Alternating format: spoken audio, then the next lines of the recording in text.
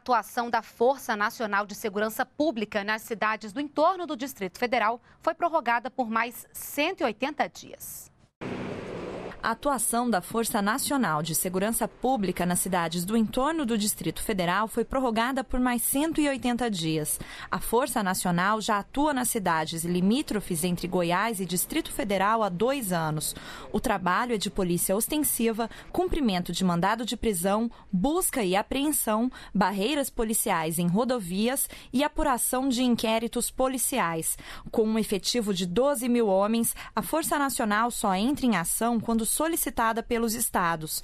Além do combate ao tráfico de drogas e armas, a força pode ser empregada para pacificar regiões e áreas com altos índices de violência e criminalidade.